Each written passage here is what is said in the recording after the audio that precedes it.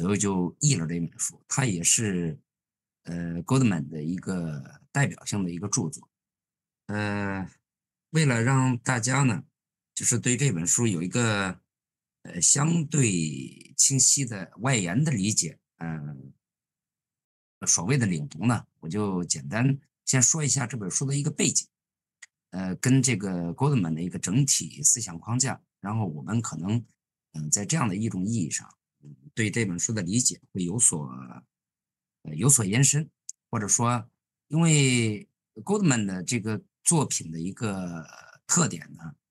是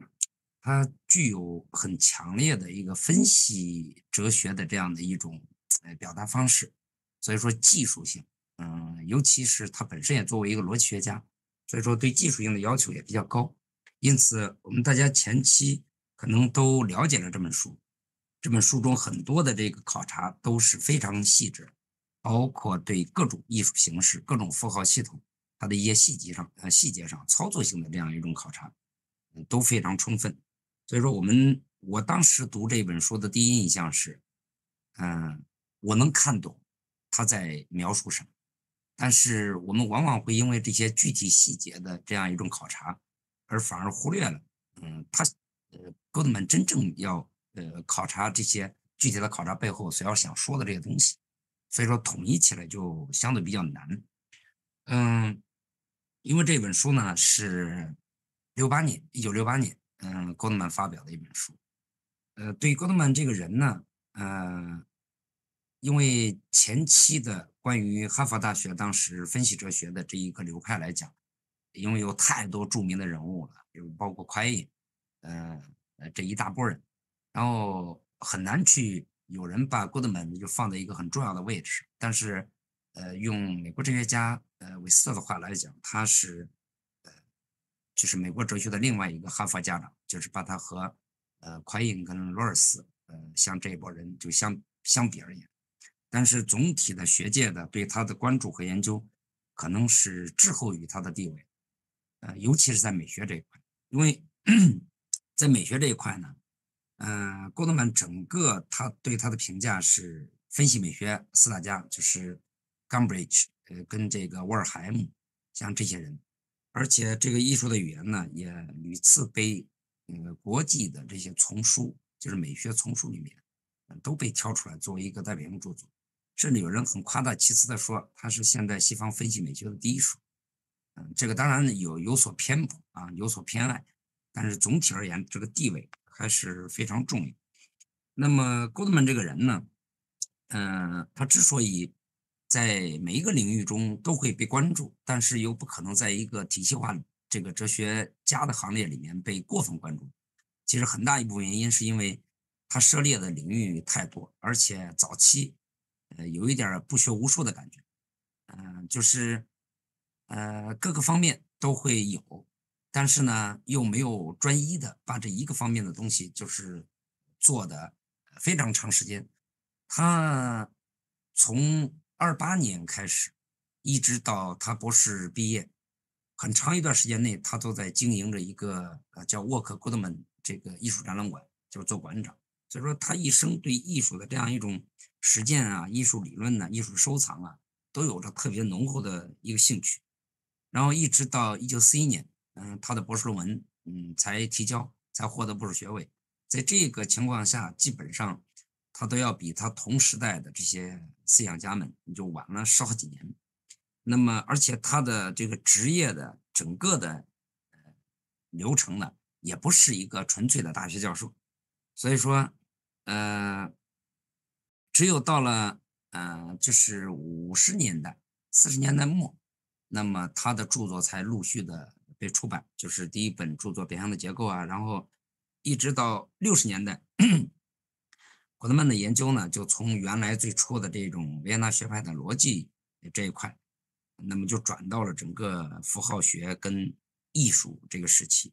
其实我也是把它认为这是。六十年代呢，是古德曼的一个第三个的研究的一个创作的一个一个一个核心期。那么整个这一本书呢，是从六二年他被邀请主持洛克讲座，那么洛克讲座里面的六讲，六个讲座，呃，这个内容就构成了现在的《艺术的语言》这本书的一个主体内容，也就是我们看到的这个书的是六章，嗯，这是六章，也就是他六个讲座。那么当然，呃，六八年出的这本书之后呢，呃，Goodman 后来呃又在其他的这些论文里面，还有包括后续的一个延伸。就是我译的另外一本书，就是《Ways of World Making》，就这本书的一系列的呃东西，又补充在了这个七六年出的第二本。啊，现在我们可能拿到的，我们我现在书里面就是主要给大家推荐的是一三年，就是彭峰老师翻译的这个第二个版本，因为九零年楚若飞先生翻了第一个版本，那个版本呢，可能因为当时对他的研究也有一些呃粗浅。嗯，然后很多的这个译法跟表达，呃，也都没有把这个艺术的语言和戈特曼的整个思想逻辑体系结合起来。就是后来呢，呃，争议也小有争议，因此第二版呢，就是现在我们拿到这个版本。这个版版本最最早呢，嗯，是社科院的美学所的刘月迪老师，是搞分析美学的，呃，他主持的这个美学艺术丛书。我印象中他是零九年、零八年，呃，给我打电话说，呃，让我去再重译这一本，因为 Goodman 的著作权呢，他九本著作，现在六本在我手里，啊，在我手里，事实虚构预测出版，然后艺术语言这个是原来已经出来了，然后还有那个我译的另外一本书，那本书呢是呃上海译文出版社出的，现在其他的这几本书呢，呃。版权，嗯，我我都已经跟这个，呃，另外一个出版社三联出版社已经给他们就签约了，所以说可能这这几年呢，陆续的会有他的其他著作都会被翻译出版。这个就是零九年的时候，当时去让我译的时候，我当时是很很很胆怯，就不敢涉及这一块，因为这一块太复杂了，译着很难。因为彭峰老师呢是美学大师、美学大家，呃，专门去做实用主义美学的。所以说，嗯，后来彭老师就把这本书译出来了，但是，呃，跟我去给大家推荐的时候，可能还是有一些小争议的地方，包括译法。这个咱们走到哪一章，咱们就说到哪儿啊，说到哪儿。这个，呃，是这个书的这个大致的一个简单介绍。但是问题是在于，怎么样把这本书植入呃 Goldman 我呃整体哲学思想来去理解。这里面，嗯，因为我没办法在这里面长时间的去去去说这个呃旁白式的东西，我就给大家简单介绍一下。嗯，这一本书的后记中啊，呃，彭峰老师用了一句话，我们大家可以可以翻一下啊，我看看这句话在哪，就是译后记里，嗯，是在第二百零七。如果大家有这个书的话，第三自然段。他用了这个呃 Miller 的一个区分，说如果我们将迄今为止的哲学分为前现代、现代和后现代三种形态，那么古德曼的哲学属于典型的后现代哲学。嗯，这句话我是存在质疑的啊，在这里面，嗯，因为如果我们把它定位到后现代哲学，就直接和结构主义啊、结构主义啊，跟这个新实用主义的罗蒂啊这些思想家就并列起来，但是我反而可能更多的倾向于。呃，它是介于现代和后现代之之间的，或者是它是从现代在某种意义上通向后现代的一个一个路径，这样的一个状态。呃呃，过一会儿呢，我们再讲到它的第五章、第六章的时候，呃，我们再具体说这个事情。嗯，但是无论如何，给出这样一种评价是有它的理由的，就是为什么把它呃归结为后现代？因为 Goodman 的思想整个呢，呃，我们尽管没办法去以大的时代给它划分。但是他确实，他的思想表达了对传统西方哲学的，或者是各个层面上的一个锯齿。那么，尤其是分析哲学，因为我们知道分析哲学的一个基本的框架，呃，一个基本的逻辑支撑是分析和综合的区分。但是在 Goldman 这儿，嗯，它是被锯齿掉，就是分析和综合是没办法啊进行区分开的。当然，我们也知道有很多的哲学家，比如说包括夸义，嗯，这个经验论的教条。然后包括这个匹兹堡学派的对所有神话的锯齿，还包括嗯，Davidson 的形式和内容的二分法的锯齿，一直延续到后来的帕特南，克拉里帕特南，他就是事实和价值二分法的崩溃。其实这中间呢，就包括 Goldman 跟怀特，我们忽略了两个人，这两个人呢，也都以不同的方式表达了对呃分析和综合的锯齿。那么最集中的体现就是 Goldman 那篇论文《论意义的相似性》啊，论意义的相似性。那么这说明呢，Goldman 的符号哲学或者叫分析的一个支撑性的呃这样的一个符号的解释，呃，并不是经典分析哲学所讲的符号。甚至在某种意义上，嗯，它在符号的这个范围上都大大的拓展了。它最起码它不仅仅限于一个语言符号，啊，一个语言符号。因此，如果说经典分析哲学的那个分析还是以语言，嗯，符号为核心的话，那么 Goldman 的分析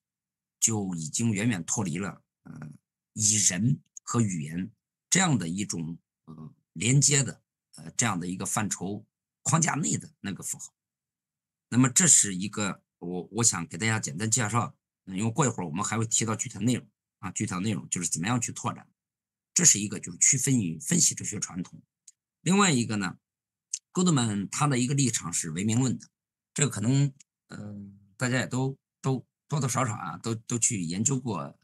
戈德曼，呃，这是他的一个核心立场。也就是说，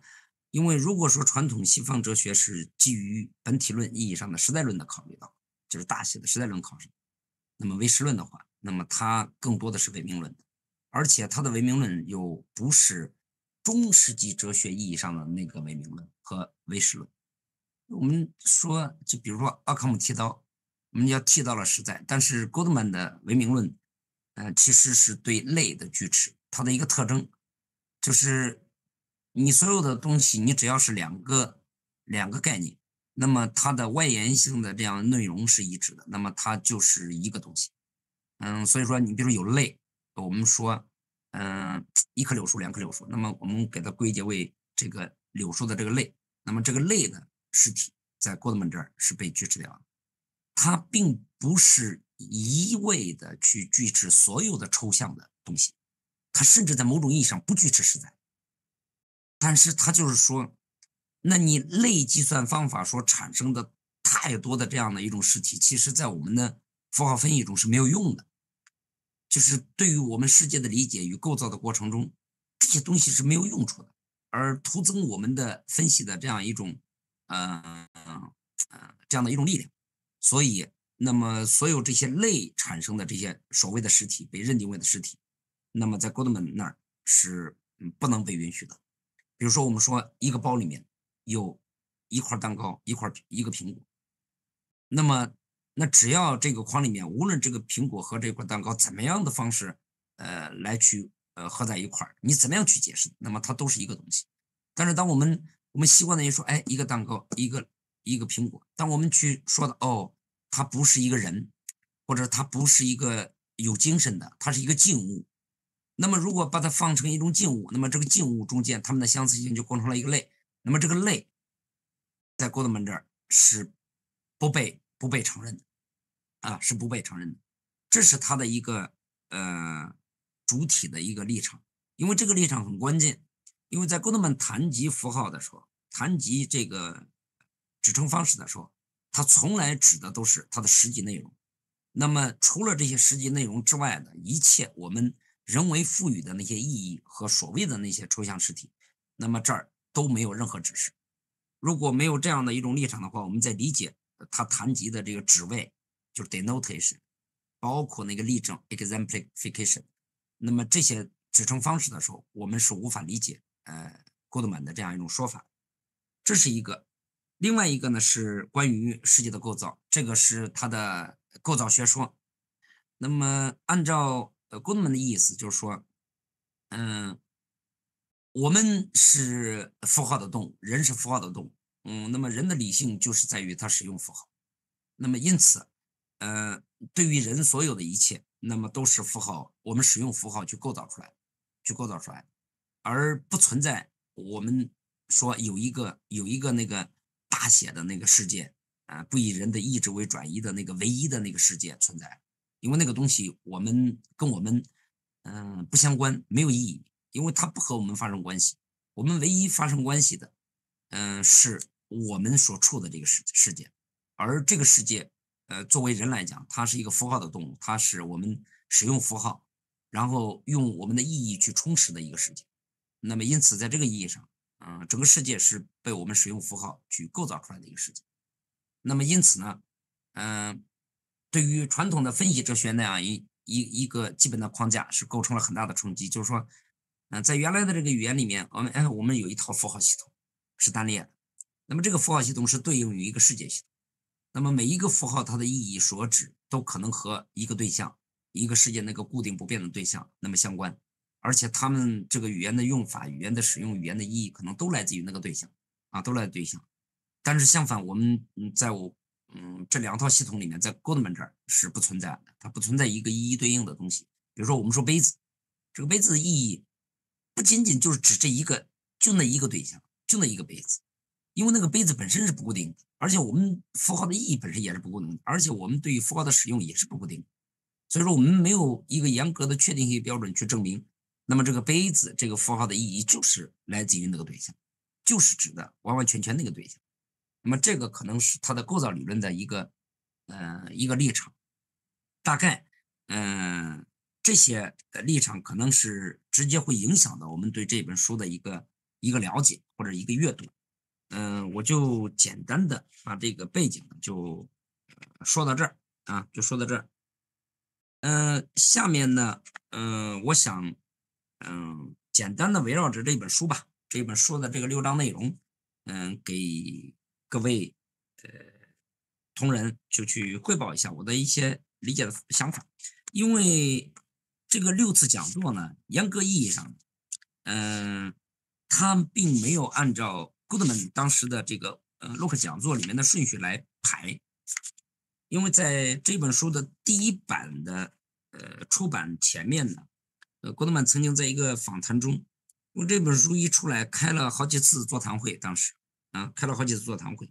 那么参考的资料也很多。后来，嗯，这个二进教授呢，这是郭德门的一个亦师亦友的，啊，不是，呃，亦学生亦友的这个一个哲学家，呃，哈佛的一个教授，嗯，他就在呃说，嗯，其实艺术的语言，这本书的这个六章的逻辑次序是，呃，稍微是有一点乱，啊，稍微是有点乱的。为什么呢？因为我们从这个六章的这个结构啊，比如说第一个再到现实，它其实就考察了符号的嗯一个呃一一种指称方式，就叫指位，就 denotation。那么第二章的图像的声音，它其实是告诉我们的符号的指称方式的另外一个核心的指称方式，就是叫三那个历史。这儿是彭老师翻译成历史，其实我还是宁愿把它理解为是例证，就是 exemplification 啊。那么紧接着呢，在第二章的第八就隐喻，其实从图示转移到隐喻，嗯，这个其实是符号履行自己的符号功能的呃另外一种指称的方式。这种指称方式它不是严格，它其实就是讲，那么我们有指位有例证，但是同时我们也可以在另外一种意义上，就是隐喻的意义上，而不是名誉的意义上去使用这样一种指称方式。那么其实这前两章。重点都是在考察呃这样的呃呃指称方式，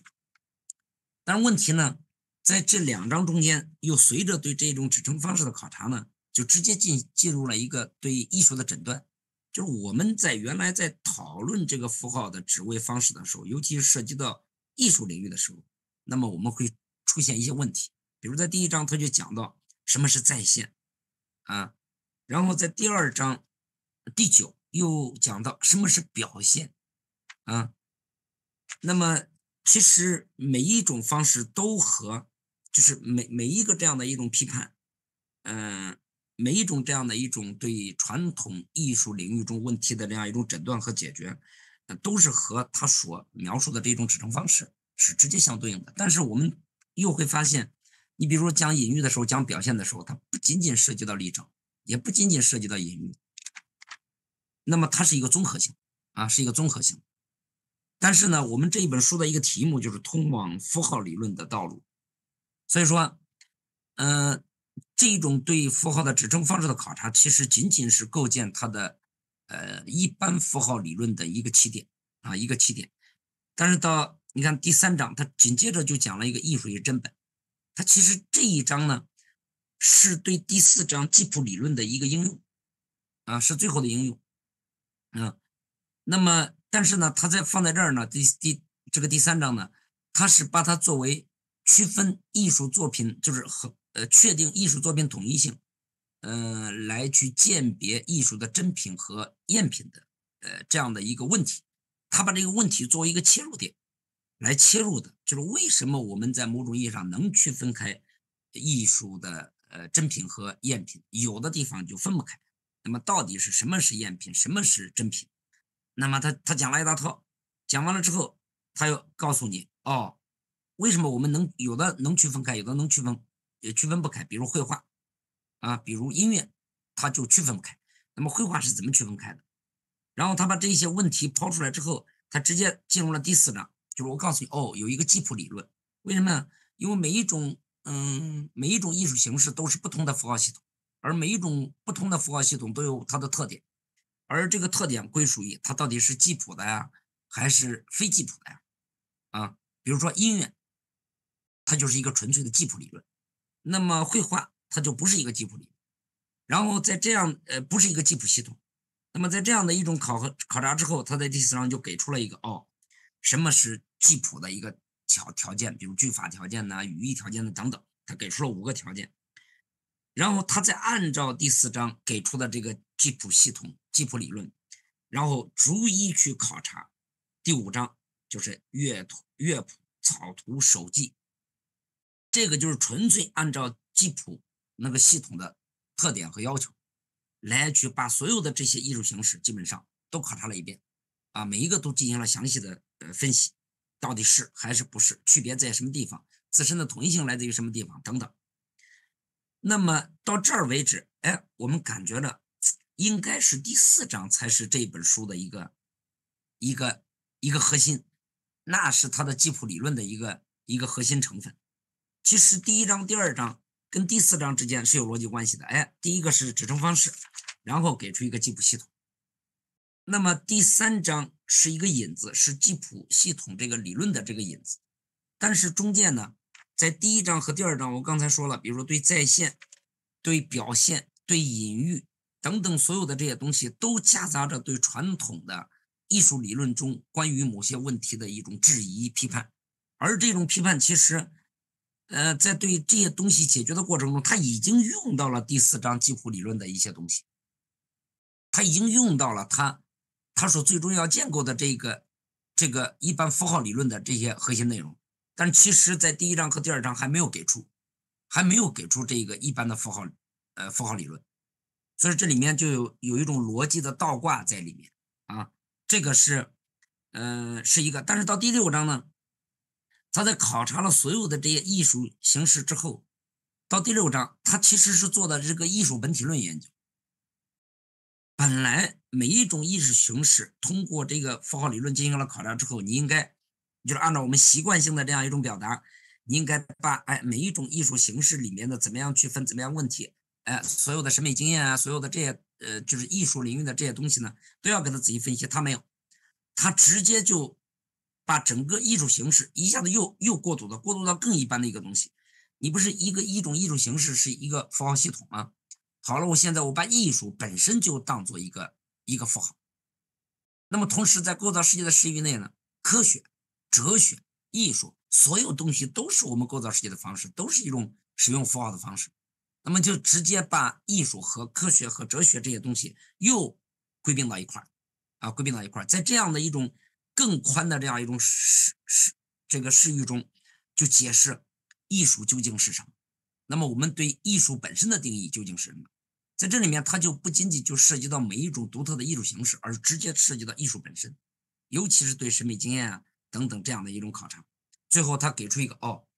我们判断什么是艺术的时候，我们是需要需要有一个相对标准的。这个标准就是在一百九十二页这个第五审美的征候啊，就审美的征候。那么在这一本书里面，他是给出的是四个啊，四个症候。到后面呢，又做了一次演讲，嗯，在七十年代中后期出了一本书，嗯，是叫呃构造世界的多种方式里面，他又补充了一个，就是复杂和复杂的这个指称啊，嗯，指称系统啊，指称方式，又补了这个第五个审美称呼，但在这本书里面还是四个啊，还是四。那么这样的话呢，他就把艺术跟科学、跟哲学、跟所有的这样一种符号的使用方式又结合在一起。所以说，整体这个书的结论并没有给出我们。对某一种特殊的艺术形式的评价，哎，这样的一个具体环节的描述，就是说它不涉及到艺术评价是什么，每一种艺术形式给我们的独特经验是什么，它的创创作是怎么样具体展开的，他没有说这些东西，他最后的落脚点是定义什么是艺术，或者是给艺术有一个类似于定义的东西。但是，我刚才说那个话有一点有点过分啊，因为呃，戈德曼本身是反对给艺术下定义。啊，反对给艺术下定义的，他是做了一个描述啊，做了一个描述。那么我们就这个这个呃，彭峰老师也在这个后记里面也也写到，他其实是关于一个艺术本体论的一个一个讨论，而不涉及具体操作层面的艺术评价、艺术创作等等各种方式。所以说，从三四五这三章的一个基础体系，那么到第六章是一个非常大的跨越。就是我们很难把第六章跟艺术本体论和各种艺术形式的讨论去联系起来，而且如果没有，呃，就是没有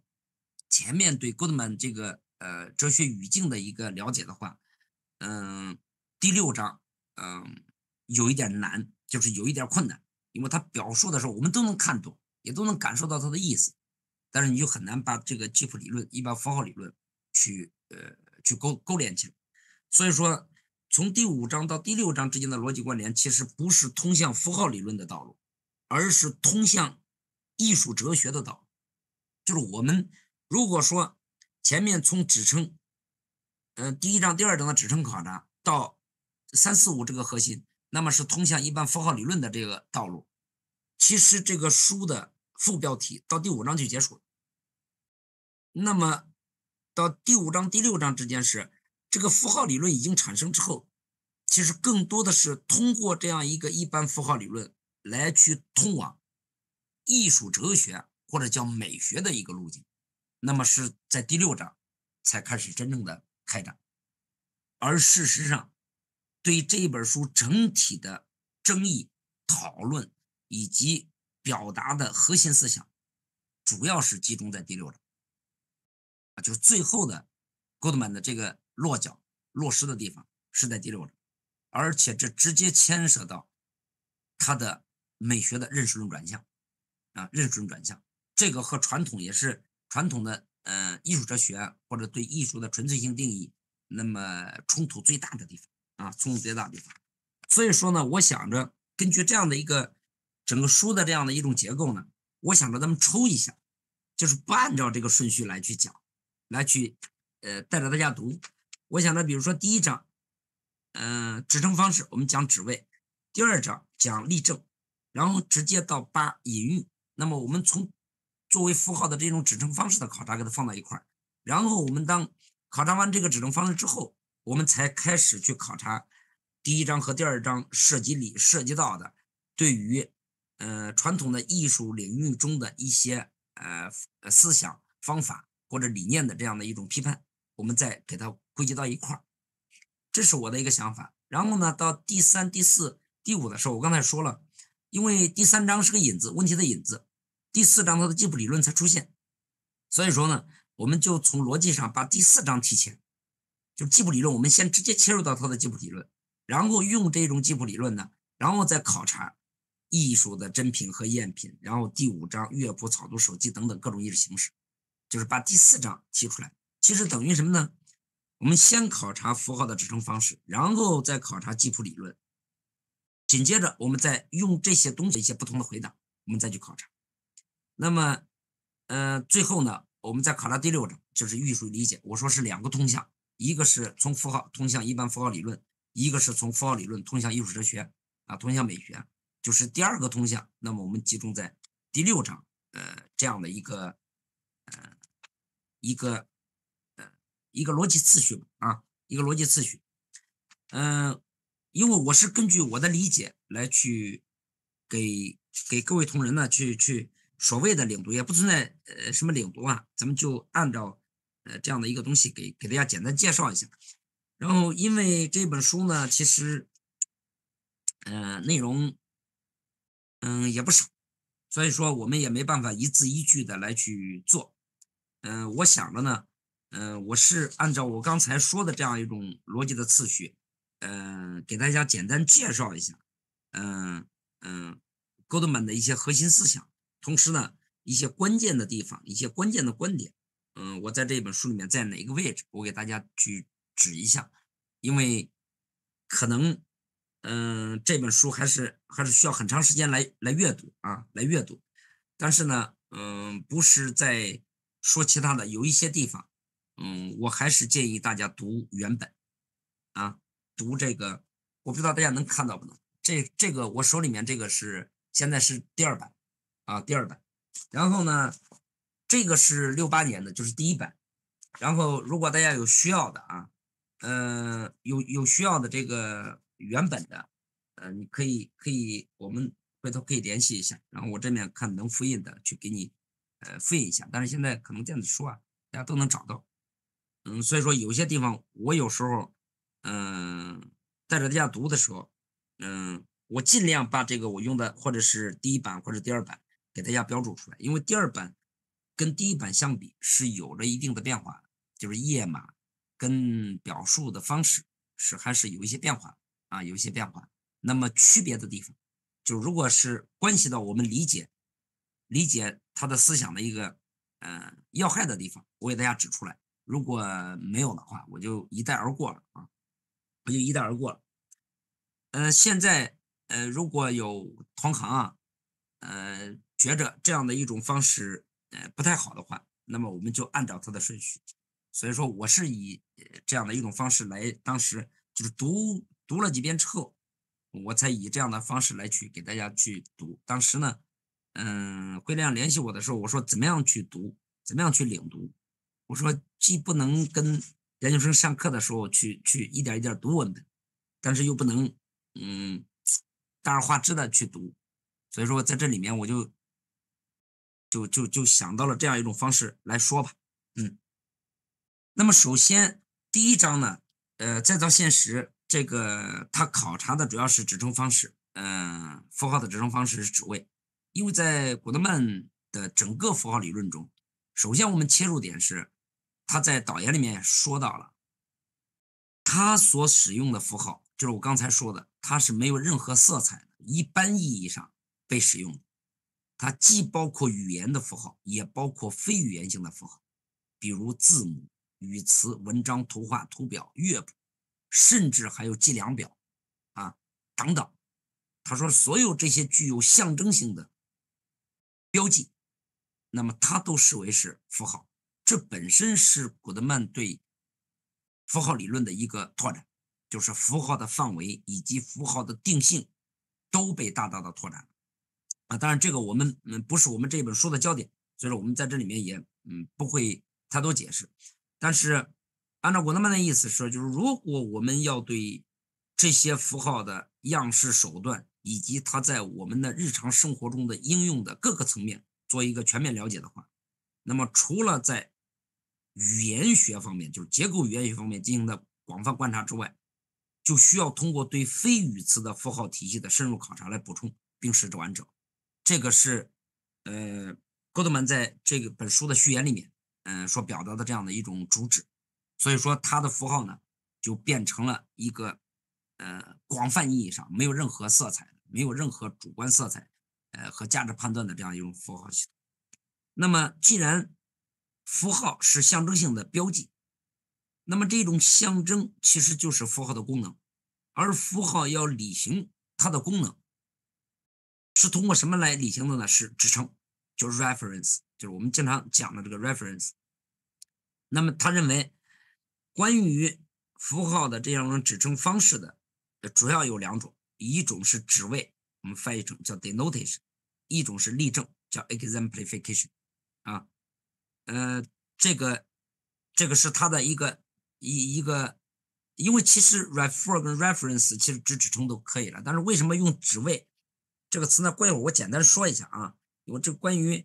为什么用 denotation 来作为指称方式的一种，其实 Goodman 在另外一篇论文里面，嗯，进行了一个详细的解释，但是在这本书里面他就没说，啊，他就直接就给他用了。那么什么叫指位呢？这在第一章里面的第一的第，我看看啊，第七页啊，第七页，它有一个描述。什么叫指位呢？他说，它是指的一个语词或者一幅图画或者其他标记形式对一个或者更多事物的适合。他用了这个词叫 fitting，嗯。叫适合，也就是什么呢？一个符号它总会有有一个事物，呃，它两个之间发生关系，而且这种关系是一种象征，象征的这样一种关系啊，这个是它的嗯一个定义。但是问题就在于，这个什么才算是职位，或者建立这种指位关系的标准是什么？你比如说，我有一个标记，有一个符号是语言的符号是杯子。那么它和我手里面拿的这个茶杯，它们的象征关系是怎么被确立出来的？他说这个是关键，如果没有这个确立的标准，那么这样一种指称关系就不存在。这种指称关系不存在，这个符号其实就无意义的，它没有嗯发挥功能或者叫履行功能的方式。他说原来我们传统中确立这个职位的啊，确立这个指称关系的一个标准，就是叫在线。就 representation 这个这个在线，而且因为就是说一个标记如果再现了这一个事物，那么就确定了它的指位关系。那么这个在线是这样的，但是关键问题是什么是在线？你怎么判断一个标记去再现了这样一个事物？他说我们传统的用的什么呀？相似性。哎，我这个符号所表述的意义和内容跟这个事物之间是相似的。那么我就确定它是象征它的，或者它是再现它。但是，哥德曼在这一节里面考察的非常详细，他举了很多的例子啊。但是结论是什么呢？他说不是相似性，相似性不能作为标准，因为相似性本身是反身性，叫 reflexive，reflexive，就就是它是个反身的，就是对称的。但是再现不是。因为我我只能说一个符号再现了一个对象，我不能说我不能说一个对象再现了一个符号。他说这是一点，所以说相似性不是。他说即使不考虑这个反身性的东西，我们也没办法判断一个标记和一个东西的相似性啊，一个东西的相似性。为什么呢？因为如果说一个东西，我们判断一幅画相似于一个小女孩。一个一幅肖像画，相似于一个小女孩，我们就说她只为了她。但是问题是，这幅画并不仅仅相似于我们说的这个小女孩，她可能相似于什么其他的东西。你比如说画了一个小女孩，这个女孩又很丑，然后比如说长得有点四不像，然后我们就在这个肖像画里面画了一个四不像。但是我们突然间发现，因为这个小女孩和那个四不像的那个东西有着某种雷同性。而这幅画在某种程度上又可能，比如说我们在色彩上像这个小女孩，但是我们在其他的方式上又可能相似于什么呀？另外一种东西。所以说，这个相似就是它指定的这个相似的对象性并不确确切，或者并不真实，它是模糊的。因此，在这种意义上，一幅画我们认为相似于某一个东西的一幅画，很可能在相似程度上。要比相似于这个这这个对象之外的另外一个对象可能更强烈啊，可能更强烈。因此他说，那么相似性并不是我们确立这样一种指称关系的一个呃一个标准。因此，郭德曼在这里面就就说出来了，他说，其实在线并不依赖于相似性，而确立这样一种象征性关系的，恰恰不是这样一种在线性的。以相似性为标准的在线，而是什么呀？而是指位。哎，这就是，就是原来我们说指称关系是通过依赖于相似性的在线来实现的，但是，Goldman 给出的是，他说其实我们更精确的说，我们就说这个标记只为了它，而不是，而不是相似性。因此，对于传统艺术领域中的再现这个概念来讲，只为才是它的精髓或者是灵魂，而不是那个相似性。那么，这是他所说的第一个这个呃支撑。当然，我们在这里面不能细说啊。不能细说，因为涉及到第一章里面的模仿、透视、雕塑、虚构，这后面呢还是有一种批判性在里面。我过一会儿我把我结合着第二再来说。现在我们就跳到第二个指称方式——例证，就是第二章的例示。当然，这个是我们刚才说到了这个结构啊，就除了指位以外，还有一种基本的指证方式，就叫例示或者叫例证 （exemplification） 啊。尽管这种方式很少引人注意，但在艺术中以及艺术之外，它都是一种被广泛采用的象征方式，就是 symbolization 那个、那个、那个、那个、那个、那个方式。但是这个例证和职位的关系什么呢？职位不是从标记到那个对象和事物吗？例证是反过来，例证是从这个呃这个呃呃。这样一个方向来的，就是说，它不是从标记到这个标记所适用的东西。比如说，我说一个符号只为了一个事物，它反而说这一个事物要怎么样回到这个标记。就是我们经常说，A 例证了 B，那么 B 也就只为了 A，就是就是这样的一个反向。但是这个例证呢，又不能完全理解为反向，因为它不是一对一的啊，它中间不是一对一的关系。因为我们说，比如说，他把这个呃例证的这个呃这个实物叫做什么样本？他说我们一定会有一个样本，这个样本例证了某一个符号啊，例证了某一个符号，例证了某一个标记。那么这是一种相对意义上是反向的一种指位关系，但它又不等同于完全意义上的反向指位，因为当一个样本去回到一个符号的时候，它可以回到不同的符号啊，它可以例证不同的符号。啊，比如说一块布，很很很柔和的、很软的这种红色的布，我们既可以把这个样本作为红色这个颜色的例证，但同时也可以把它作为一种布料啊，一种柔软啊那样的一个符号的一个例证的一个样本。这个是呃他考察的这个例证。然后呢，他说无论是指位还是例证，我们都是在名誉的意义上用的，就是一个语词。或者一个符号就在这儿，但是事实上我们在使用的过程中很少用完完全全意义上的名誉，就是按字面的意义来使用的，其实非常少，而更多的使用的是什么呀？是隐喻的方式啊，是隐喻的方式。那么他说，隐喻很显然跟字面意义是对着来的啊，相对应的。但是问题是。我们为什么在更多的意义上去使用隐喻，而不是这个名誉呢？因为名誉它有指向性，而且这样这样一种一种指向性、职位的东西，在我们的日常生活中，啊，在我们的语言使用传习惯和语言规则的这个确定下，它是确定。但是这样一种确定性，只能让这样一种重复，或者叫叫叫叫模仿、叫被动的这种再现，那么呃，让它陷入更大的困境。反而我们在艺术的创造中，创造过程中，我们更多的使用的什么呀？是一种非字面的意义啊，是一种呃隐喻的意义。所以说，在这种意义上，他说所谓的隐喻，其实就是教我们使用一个旧语词的新方法啊，就是我们用另外一种方式使用这个语词。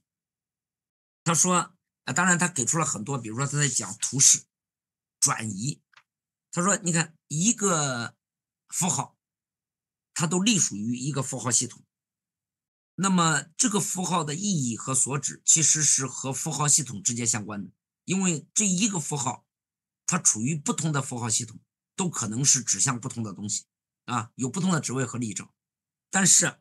当这个符号系统本身发生变化了，就是我们原来从 A 符号系统给它转换到 B 符号系统的时候，那么这个概念的意义也会发生变化，而这样一种意义的变化和转移。其实，在某种意义上，我们把它看作是隐喻，但同时它指的是什么？是一个符号系统的发生变化，就是图示转移了啊，一个图式一个领域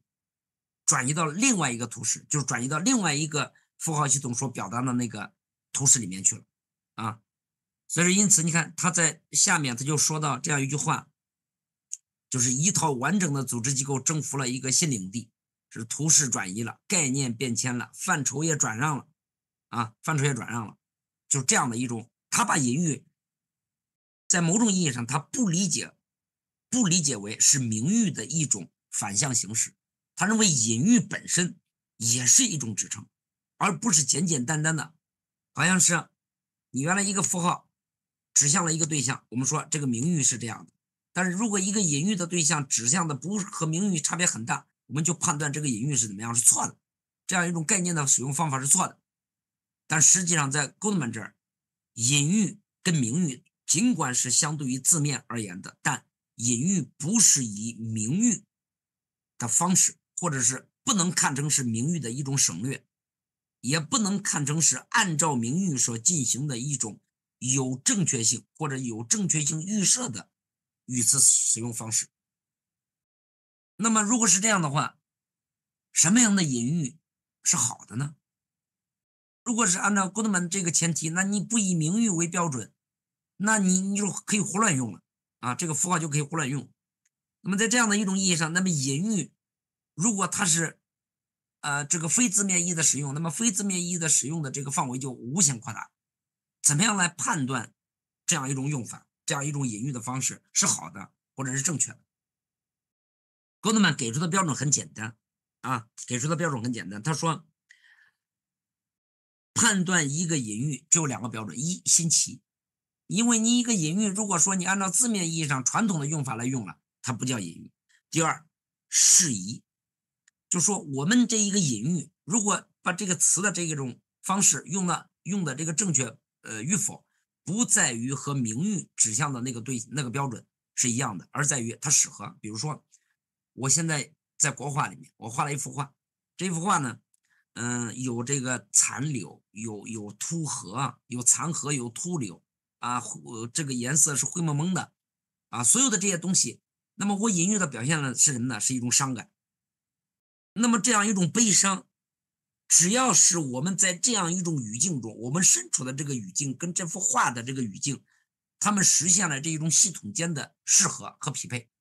那么我就说这种隐喻是正确，啊，是好的。在这个意义上，其实哥德曼得出来的一个很很很有意思的结论，就是说，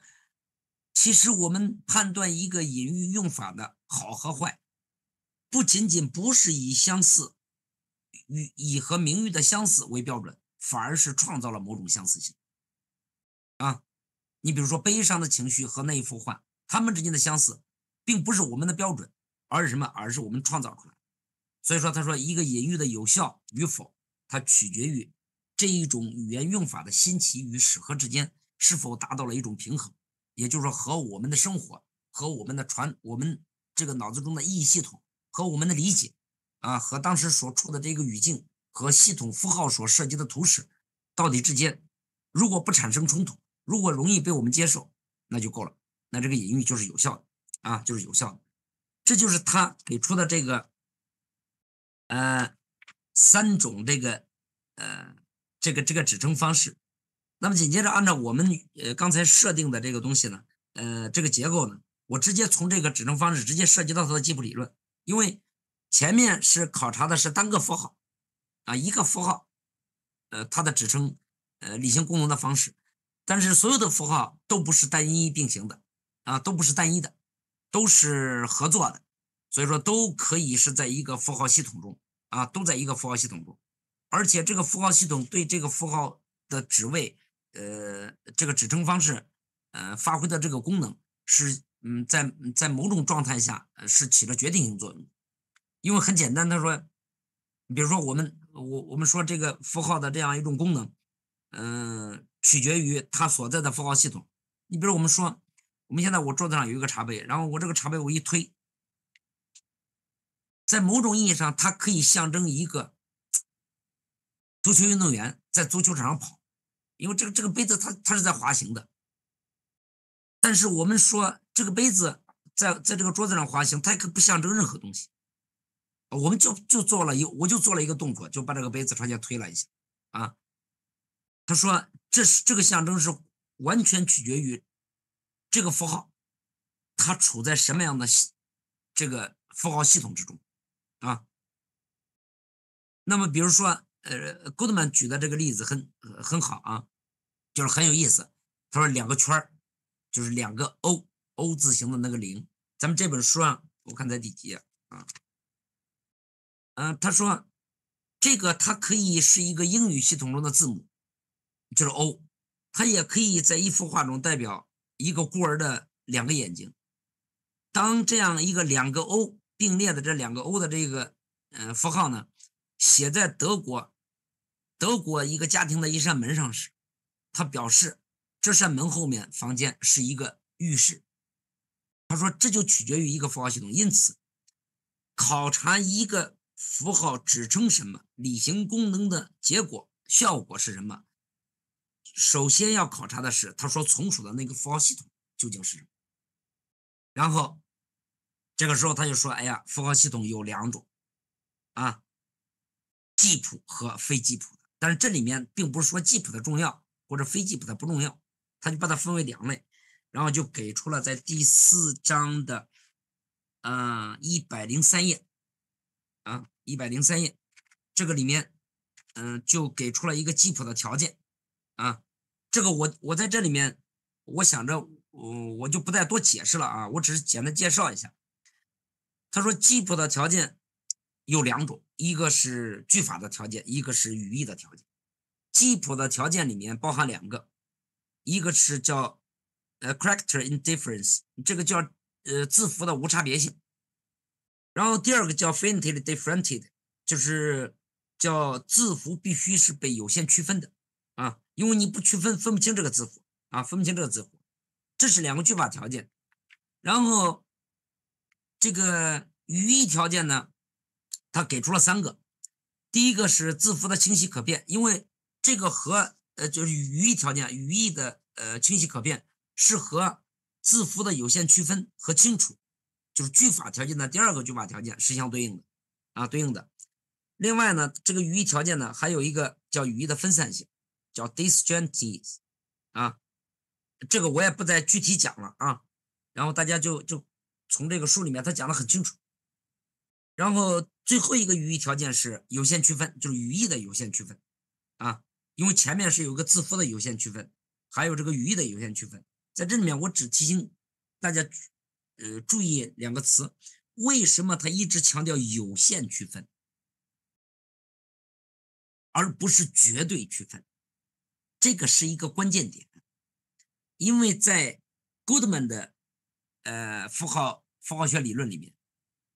一个符号和另外一个符号的区分都不是绝对的，因为它强调的是连续性，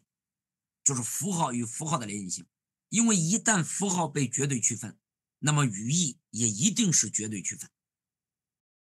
这个是它的有限区分的一个含义。我这里面也不再给大家多解释了，这个是和他的一个唯名论的那个立场也直接相关啊，直接相关。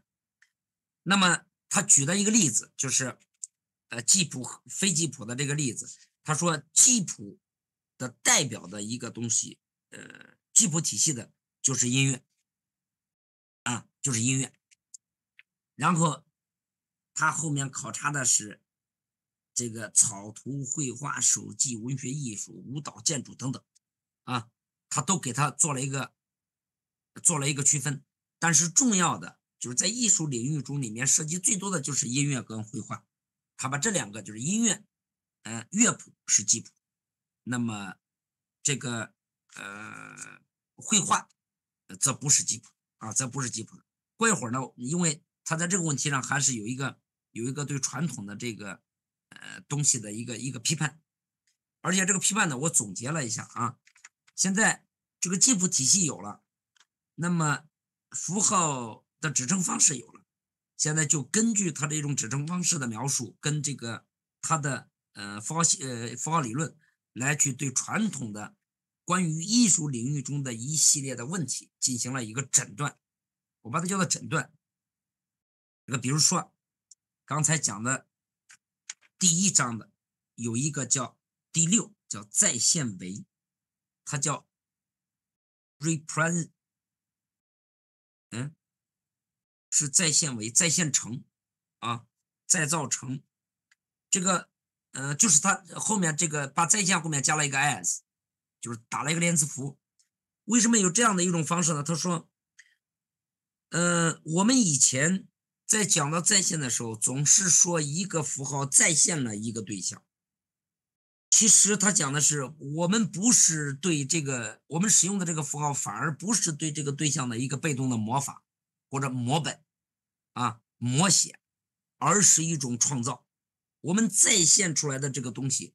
并不是一个纯被动的照抄照搬，而是我把它再现成什么样子，而不是它是什么样子，我把它再现。成什么样子，而是按我们的这个再现过程给它再现为什么样子啊？他说为什么会出现这个问题？为什么会用一种再现为？他说原来其实我们关于在线艺术在线都是一种模本理论，它的基础就是模本啊，怎么样模仿它？这就是他讲模仿啊，这个它的原因。他说那个模仿，它的前提是我要有一个被模仿的对象。因此，你要是想模仿，让模仿成立，你就必须让那个对象被确定下来。那么，这个对象怎么来确定呢？就是被模仿的这个东西怎么来确定的？你比如说，我们看到现在一个杯子，我看这个杯子是椭圆的，因为里面有水啊。然后另外一个人在看这个杯子，他可能哎，他看到的是黄色的啊，或者是这个椭圆形不够，或者是另外一种形状。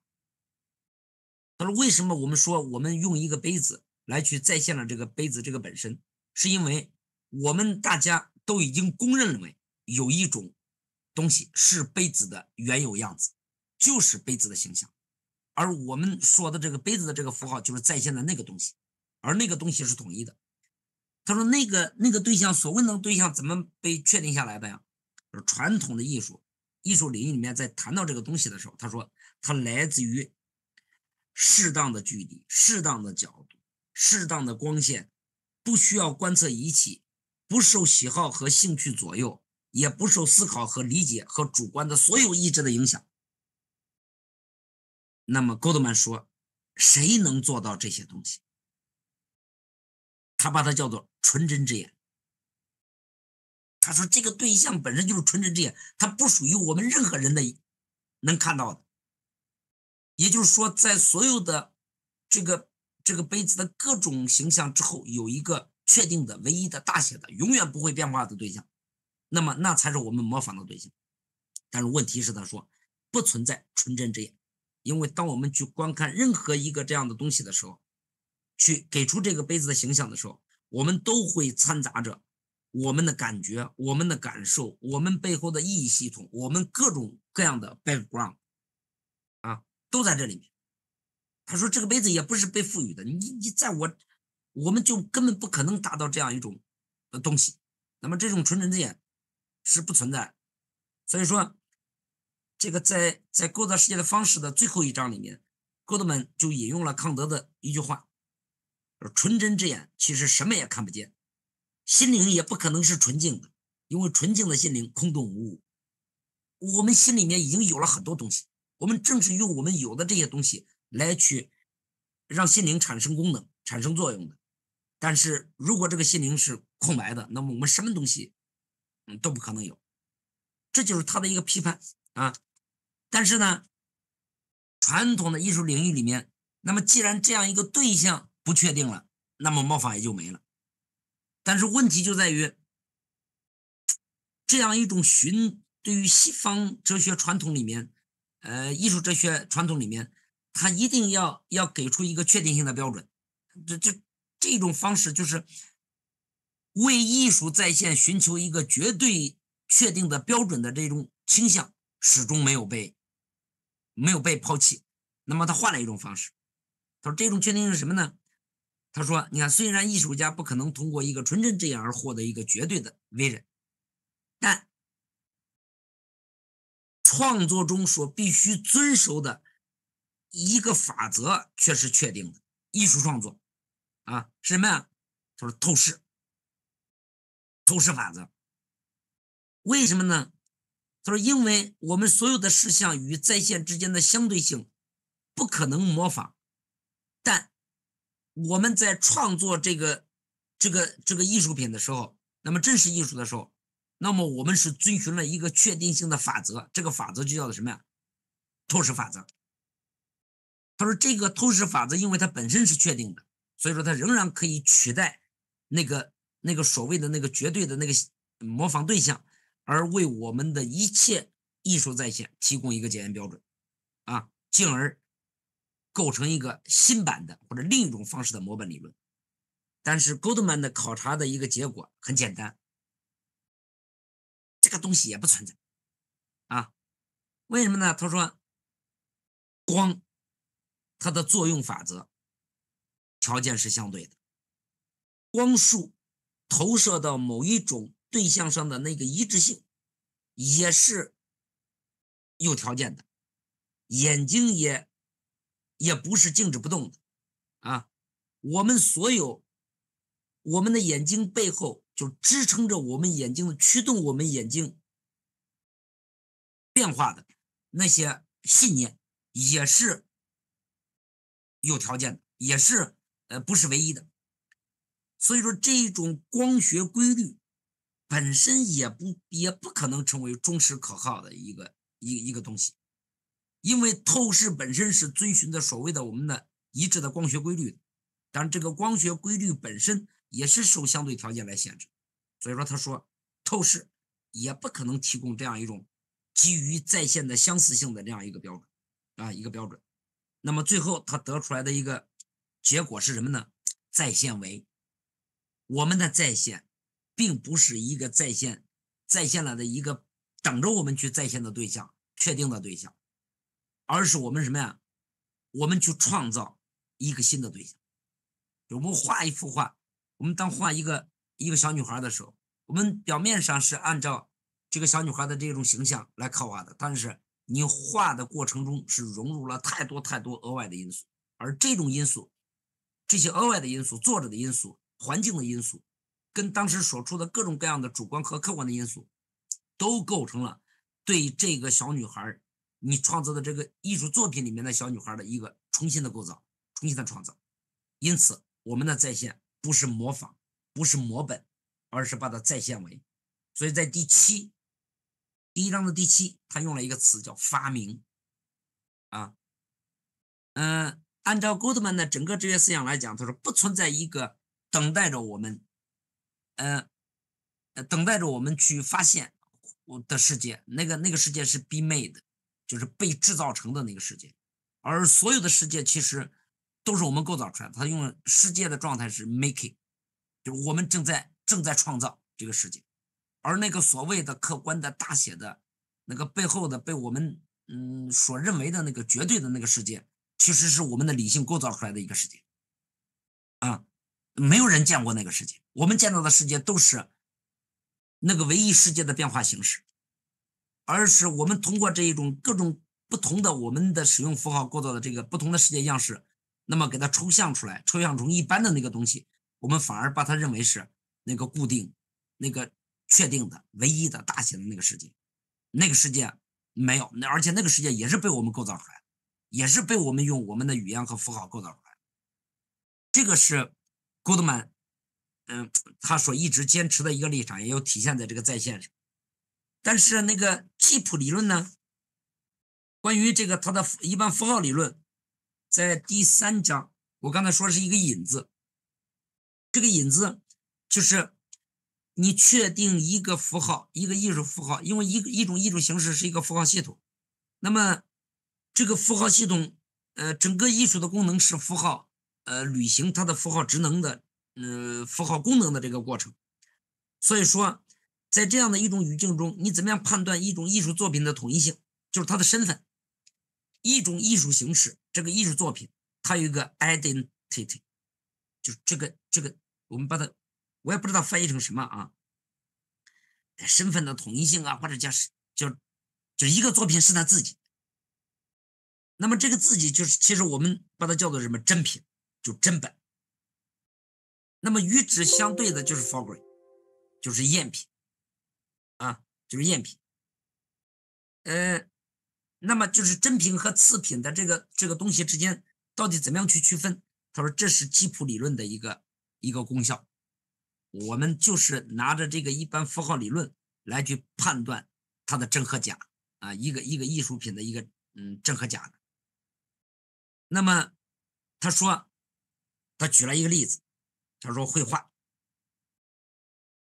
也就是说，当我们面临拿到两幅画，一幅画是五百年前的，啊，比如说拿一个画家的一幅代表作，现在呢，我有一个摹本，就是现代人给他画的一幅画，可以乱真的，这个预设就是说，这两幅画。后面五百年之后画的这幅画，完全临摹的那个画，画出来的就是你的肉眼，你的各种通过这样一种客观的方式，你已经辨别不出它有任何差别。你怎么判断这两幅画哪个是真的，哪个是假的？他的结论是：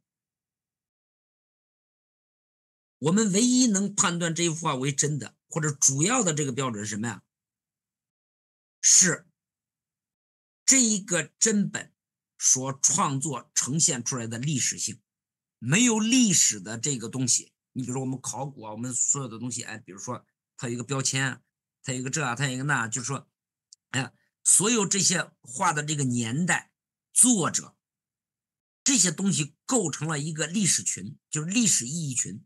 我们就把这样一种历史意义群来去判断这两幅画之间哪个是真。哪个是假啊？因此他说，即便没有人能够通过观看分辨出这两幅画，但这两幅画已经在审美意义上有所不同了。因为一幅画有它的历史性意义意义群，那么另一幅则没有。那么，为什么我们能通过这个历史的这个属性来判断这幅画的呃真假？他说，就在于绘画属于一个密集的符号系统啊。由于这种符号系统缺乏句法和语义的有限区分，所以任何一个细微差别都可能是至关重要的。但他们却可以很容易的逃过我们的观察。因此，在绘画中，决定作品身份的是作品的产生历史啊，就是我刚才说的作者啊、年代，而不是那些符号本身被观看到的差别。那么，这是。第三章他讲的这个完美的、不完美的，但是与绘画不同的另外一种，这就是他所说的两两种最主要的艺术形式——音乐。他说音乐就不一样。他举的例子我看看，他举的例子啊，在后一页，他说，比如海顿的《伦敦交响曲》，他说他不可能有任何假的东西，为什么呢？因为这个乐谱的手稿可以被无数次的复制。和演奏，但我们却不可能与海顿本人的手稿一样，就是嗯，但是这些复制即便是伪造的，却与海顿本人的手稿一样，都是这个乐谱的一个实例。因此，我们没办法拿拿着这个伦敦交响曲的这个这个乐谱手稿来去判断这个音乐这样一种艺术它是真的还是假的。我们唯一能够。得到的一个差别什么？他他演错了啊，比如说，呃，这这个这个这个一一一个曲子，它的这个音符错了，他说我们才可能来去判断。区别在于什么？就是，但是对于就是一个乐谱是可以这样的，但是对于一个画来讲，即便是最正确的复制，它仍然是假的，而不是新的实例。但是对于音乐来讲，你最正确的复制，你没办法判断它是假的。区别在什么地方呢？区别就在于，他说绘画是 autographic，就我也不知道怎么翻啊，这个这个，但是嗯，我按照我的意思，我把它翻译成是自来的啊。那么音乐呢，它是它来的，叫 allographic，就是区分就是在这儿。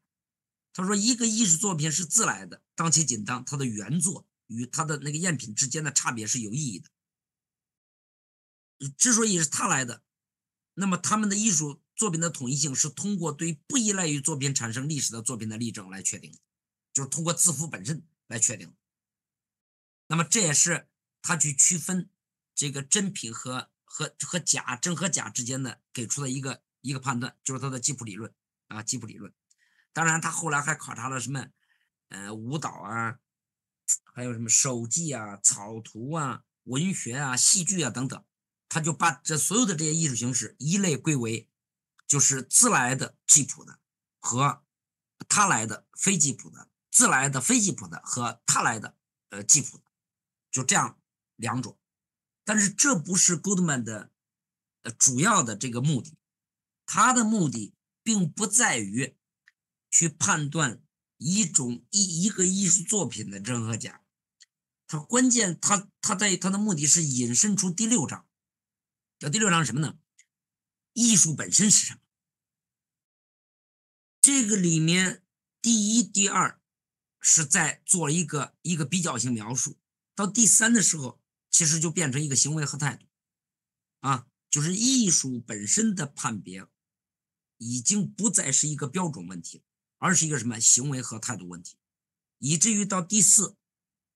这个审美经验就是感受的功能；到第五，给出审美的征候，就是什么是审美的啊？这个里面呢，嗯，这一章，我想着我我我不一一的给大家就这样一一节一节描述了。嗯，我从整体上就因为我刚才说了，从第五章过渡到第六章，其实是有一个断裂的，这个呃，可能需要去补上。嗯，Goldman 的其他的这些著作和他其他的论文所涉及到的东西，比如说他在这个嗯这个洛洛克洛克讲座之后，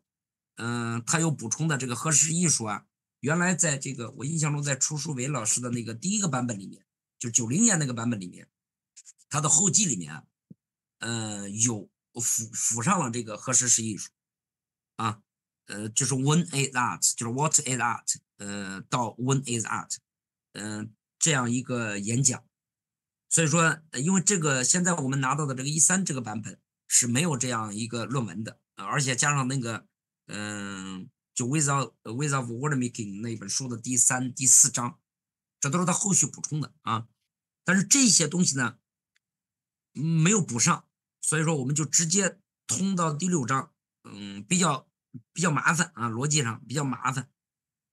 嗯，我在这里面我就。我就把这一些连着这一些东西给大家介绍一下啊，嗯，总体来讲，从前面无论是符号的例证方式，还是记谱系统，还是呃这个符号理论，其实郭德曼想给我们表达的什么呢？艺术就本身就是一个符号系统，艺术作为一个符号系统，它就要履行它的符号功能，因此考察这个符号履行符号功能的方式以及。履行这种符号功能所受限制的条件，那么对艺术本身的理解，就直接决定了对艺术本身的理解。因为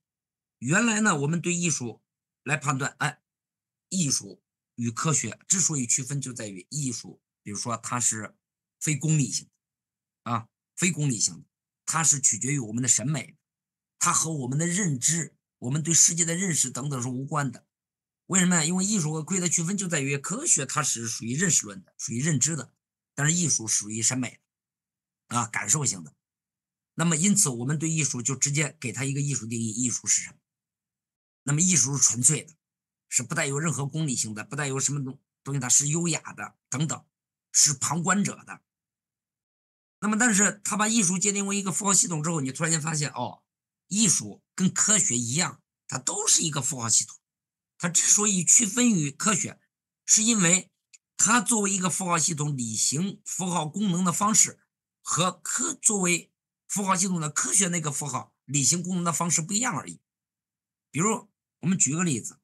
一个直线，一个线段。那么在艺术里面，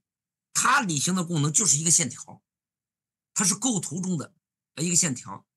但是对数学里面来讲，在数学领域里里面，它可以。在在在在个数学哲学里面，在数学里面，它可以作为什么呀？它是有一系列可分的点啊构成的就是由点构成的一个数学图式。因此，同样的一个符号，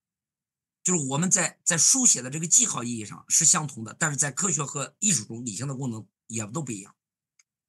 所以他就说，没有什么本质主义的，给我我非得给艺术下一个确定定义，比如说不同意科学，不同意这，不同意那，然后艺术是什么？是在线，是是对我们这个那个确定对象的一个呃没有任何主观意志和表达的创造性的这样一个在线。啊，它不具有任何功利性，它不具有认知功能，它就是一个在线。那么，所有这些都不存在，是什么呢？为什么呢？因为作为一个符号系统，它可以履行艺术的功能，它也可以不履行。比如一块石头，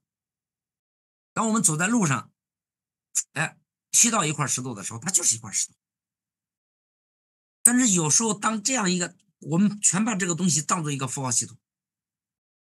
那么，当我们把一块石头放在，就是一一一个博物馆里面，那么这个石头，它其实恰恰也是几百年前、几万年形成的，它也是代表了某种东西。只不过在路上的时候，我们没发现这种东西，我们就把它当做一个石头。但是到博物馆里面，你经过一一系列的分析，你会发现，它会成为一个艺术品，因为在这个时候，在这个语境中，这个符号系统履行的就是艺术符号的功能。比如它指称了什么？它只为了什么？它例证了什么？它隐喻了什么？啊，因此，按照 Goodman 的意思，就是我们根本就找不到，我们没有纯真之眼，我们没有神的所语，我们没有这些东西，我们没有先天的感受性。嗯，因此，我们也给不出任何一个纯粹的艺术定义，就把艺术跟科学跟哲学都区分开了。其实。我们追问的什么是艺术，那是一个本质主义的一个立场上的观点，而我们现在问，当把艺术看作一个符号系统的时候，我们只是看一个符号系统在什么时候履行了艺术的职能、审美的职能，那么它就成为艺术。所以说，他提出来一个问题，就是从从 What is art 到 When is art，就是从什么是艺术这个本质主义的追问，一直过渡到啊。我们其实是看什么时候是艺术，啊，什么时候是艺术。那么这个对艺术的发现，对艺术本性的这样一种，这样一种与传统哲学的这样一个传统西方艺术理论的这样一个冲突，就直接导致了 Goldman 给出，那我们怎么样来？我们总总总要把艺术跟科学要区分开啊，啊，总要跟它区分开啊。你怎么样区分？他说主要是看审美。然后他给出了关于，呃，艺艺术的这个审美的征候，就四种征候。到最后，在构造世界多种方式里面，又进一步补充为五种。比如说叫，呃，句法密集啊。因为在在在鹏鹏老师这里面翻译的，他把它翻译成密度，叫 density。嗯嗯，我还是建议，我还是坚持叫翻译成嗯密集。它不是纯粹指的一个静态的密度问题，它是指的一个系统的关系，就是系统与系统之间、系统符号之间的呃这个关系，而且这个关系，因为如果把它翻译成密度呢，就就静态化了，而其实呃这种密集的这种关系，其实它会变的，它会动的，它没有一个固定的东西，它时时刻刻都随着这个符号系统的扩大缩小。跟符号系统的这个语境的变化都会变化，所以说我还是建议翻译成语义密集啊，句法密集。这个里面我就不再多讲了啊。比如审在审美的征候里面，就是句法密集、语义密集、句法的相对称词，就是 relative repletiveness。然后包括例证。最后呢，在构造世界多种方式中里面，它又补充了一个叫什么多重和复杂的指称，叫 multiple and complex reference 啊，就是。就补充了这个第五个这样的审美症候，但是可能大家在读到这儿的时候，尤其是在第五的结束的时候，我们就会考虑到，Goldman 不是不对艺术进行下定义吗？他为什么还要弄出来一个审美症候，作为判断这个艺术的呃区别于判断这个艺术跟科学和哲学之间区分的一个一个一个所谓的标准呢？因为症候其实就是病症嘛，呈现出来的状态。这个里面高德曼有一有个解释，但是在这里面解释的并在这本书里面解释的并不清楚啊，并不细致。在另外的这个书里面，在《构造世界多种方式中》跟那个《科学呃艺术和哲学的重视》这本书里面，它都有一个一个一个详细的解说。什么呢？他说这种征候，我之所以不让嗯不叫它叫做标准，叫把它叫做征候，就是因为我强调的这种症状或者叫征候的相对性。他说我们只是在相对集群的意义上给出一个功能，征候其实就是符号的功能所呈现出来的东西。那么。尽管它类似于我们有的一个判断艺术和区分艺术和科学哲学之间的一个标准，但是其实这个征候是一个功能性界定，而不是一个本质主义界定。我不再问是什么，我只是在问这个符号系统因为履行了什么功能而表现出什么征候的时候，我判断为它是艺术还是科学啊，还是科学。但这里面关键的问题是在第四跟第六。就第六章的第四节和第六节，当讲到审美经验的时候，哎，从第三的后半段一百八十四页都开始了。这里面有个非常关键的啊，当 Goodman 讲到审美经验的时候，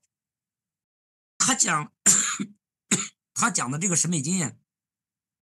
并不是在传统艺术哲学领域中讲的那个纯粹的审美。啊，纯粹的审美，这个审美经验不仅仅具有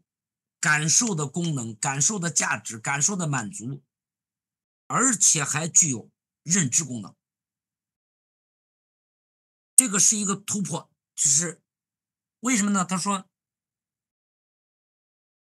这种感受美的这种享受，怎么会具有认识意义呢？认知功能呢？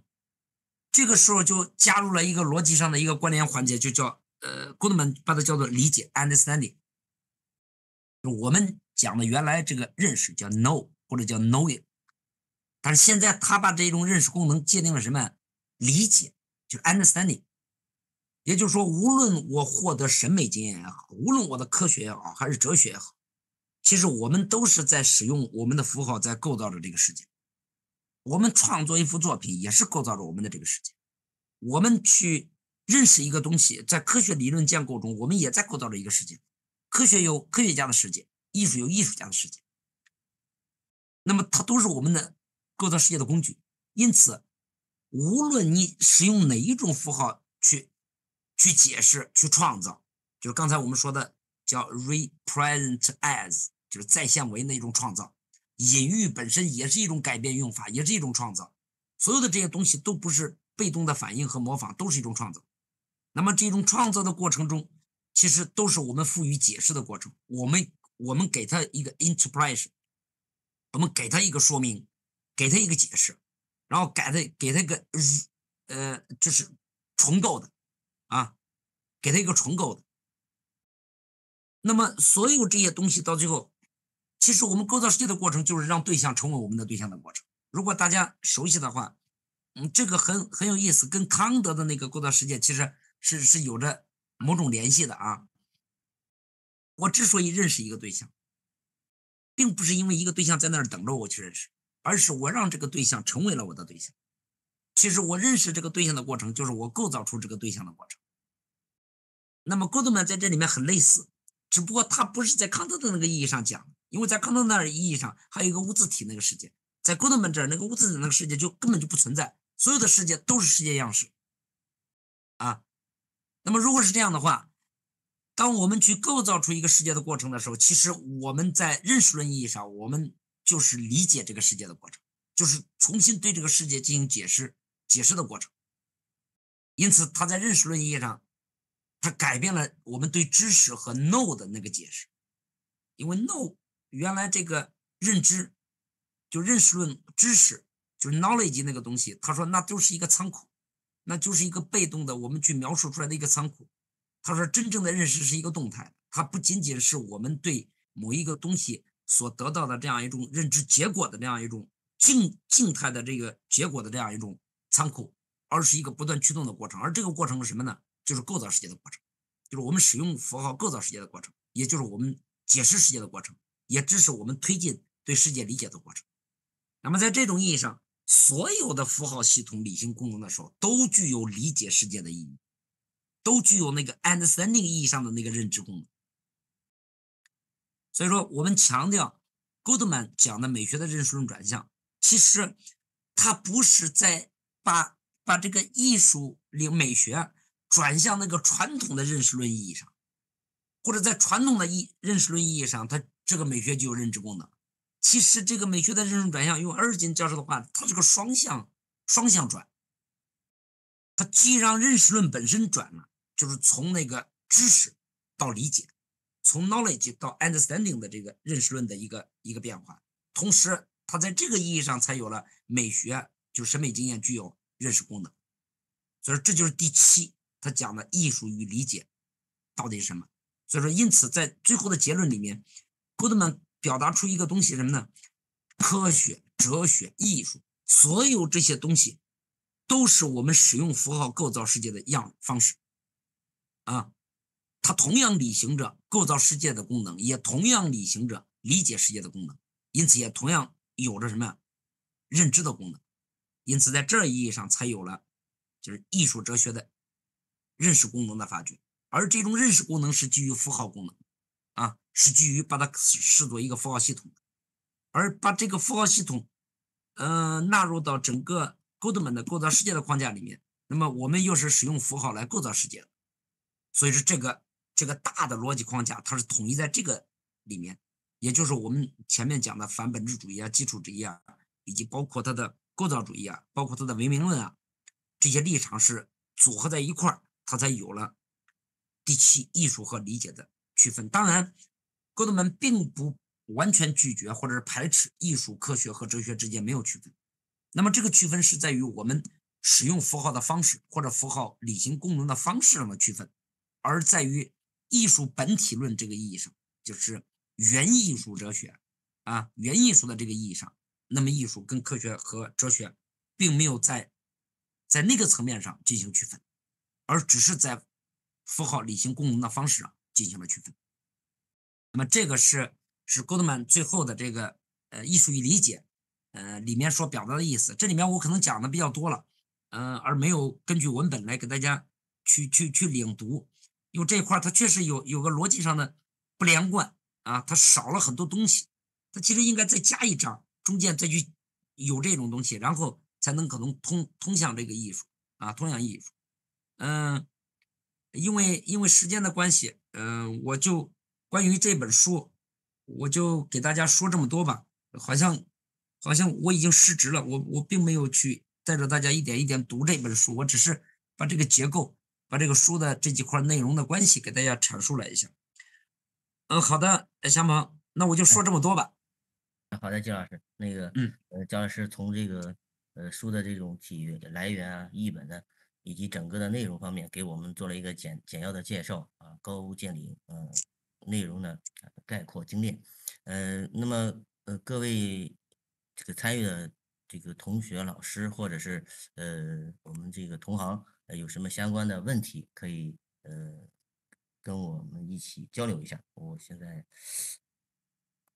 呃呃这个静音呢已经打开，呃那个如果各位老师有什么问题的话呢，我们可以一起交流一下。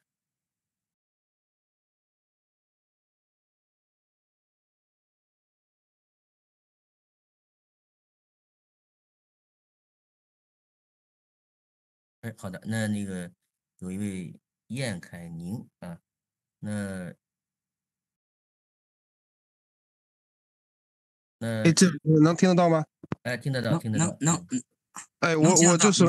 哎哎，季老师你好，我这有一个就是小的理解的偏差，就是是想让您给纠正一下，就是就是您所经您经常说这个描述，就是对古德曼，就包括你们包括上课的时候，您也经常说这个描述，当时我也没来得及问。就这个描述是现象学意义上的描述呢，还是就是说是古德曼符号学意义上的描述呢？呃，因因为他我我可能我不知道是哪一次课啊，因为在讲描述的时候，可能是从心理学发展那个系统里面去讲的一个传统的心理学描述的心理学和解释的心理学，对吧？嗯，那如果是从这个意义上理解，它可能更趋向于自我显现，就是现象学那个意义上的描述。哦，那也就是说，他这个描述的话，就是，嗯，怎么说？就是对艺术的描述，如果按照那个符号学理论的话，它就仅指那个现，就是在现象学领域来理解，而不是在符号学所表达的那种。对。但是，但是这个在在 Goodman 的那个符号学里面是可以可以这样理解的，因为我们说的符号学是，如果呃你你指的是是 Goodman 它本身的这个符号。因为它是呃非语言符号都都在里面，那么它其实就是符号意义的自我显现，也可以这样理解。哦，好的好的，那我知道了知道了，嗯，谢谢您教授。啊，祥鹏，我想提一个建议，这里面我不知道哪个是关关和凤老师，那是我老师。哦，是吗是吗？那个那关老师。关老师今天下午还在说，我不知道在不在，因为我的英语全部是来自于关老师。哦，关老师，哦，关老师，他咱们学校关老师。哦，哎，对。关老师，我看一下。我想表达一个谢意。关老师，嗯，您您在吗？我。哎，关老师应该在。关老师应该在，嗯，应该在。哎，对。哎，好，解除了。哎，不太会玩，很高兴啊。呃，我非常自豪。你看，我教出来的学生英语说的就是倍儿棒。我你 关老师，你别吵我，我发音好好差的啊。我我我只会读，我不会说，主要是有的时候发音特别的菜。已经已经完全可以代表。批评批评。我我代表咱们河南大学教授的英语水平已经足够了。哎呀，没学好，没学好。哎。你没学好是因为我没教好，你要是已经学的很好了，是你中学老师教的好，我不能 贪为己功啊。谢谢关老师，谢谢关老师。哎，呃，看着你们进步，我们真是知道什么叫青出于蓝了。哎，看我的学生个个的当着教授，当着院长，我心里头甜得很。没有没有，关老师。你你坐在这儿可能都是受罪的啊！你哪有？好好放松一下。我是今天跟你说一个失误，我后来发现我们大学外语那边也有一个讲座，我这一心两用，一会儿听听你的，一会儿听听那边的。辛苦了，辛苦了，辛苦了。哦，不辛苦，我就是让你知道，我尽管要退休了，但是我的求知欲还特别旺盛，没老啊。好，谢谢关老师，谢谢关老师。好好好，拜拜，大家晚。哎，你们好好聊正事儿啊。哎，好好。嗯。呃，那下面还有哪位呃有问题？还是还是这个燕凯宁吗？没有了，没有了，老师，我这已经听过了。哎，好了，谢谢你，老师。好的，那个如果没有其他那个问题的话，那我们呃这次讲座呢，我们就这次。这个读书会呢就结束了，呃，那么非常感谢金老师以及各位同学和老师的参与，呃，我们下一次读书会再见。金老师，您看可以吗？好的，好的，好的，好的。那金老师，哎呦，这里面还有好好多我的师弟王伟也在。那那那您那一个一个交流交流。没有没有没有没有没有没有。可以，这位也他已经开音了，他已经开了，王王老师已经开过音了，哎，啊，开麦了，哎。哎，师兄，师兄，我是来旁听的，师兄，我看，嗯，没有没有，我我可以看到季季院长，